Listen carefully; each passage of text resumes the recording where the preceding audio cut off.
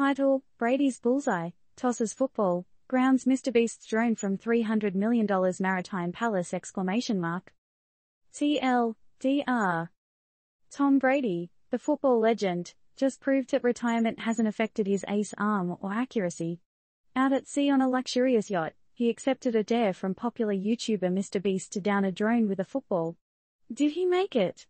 Not only did he nail it, but Brady also completed another equally remarkable challenge right after. Is it time for a comeback? Brady, chilling on a luxurious yacht, basking in the glow of his post-NFL life, didn't miss a beat when he accepted a challenge from none other than YouTube sensation Mr. Beast. The mission? To ground a drone buzzing at eye level several yards away, using nothing more than a football. Can you imagine the pressure, the intensity? Initially, the man himself had doubts. He even joked that if he could accomplish the task in one try, he might consider ending his retirement. Well, guess what? Brady proved that he still has gas in the tank and a fire in his belly, as he not only knocked that drone right out of the sky, but also completed another awe-inspiring challenge immediately after. If that's not a sign of a potential comeback, what is?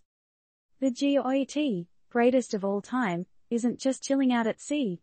Nope, he was there, doing what can only be described as globetrotter trick shots from a boat. Seriously, is there anything this guy can't do? His triumphs and post-retirement life are impressive enough to make even the most hardcore couch potato reconsider their life choices.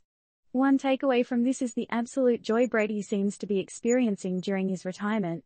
He's not just knocking drones out of the sky, he's spending quality time with his daughter, who was right there witnessing all these drone yacht games. Daddy-daughter time combined with a hint of adrenaline, can it get any better? As Mr. Beast himself found out, Brady's arm isn't gathering any dust.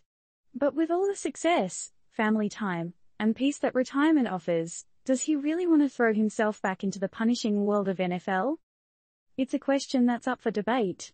But as we consider the possibility of a comeback, we can't help but wonder, would you step back into the limelight if you were Brady, or would you prefer to stay on the yacht, knocking drones out of the sky with your kids by your side?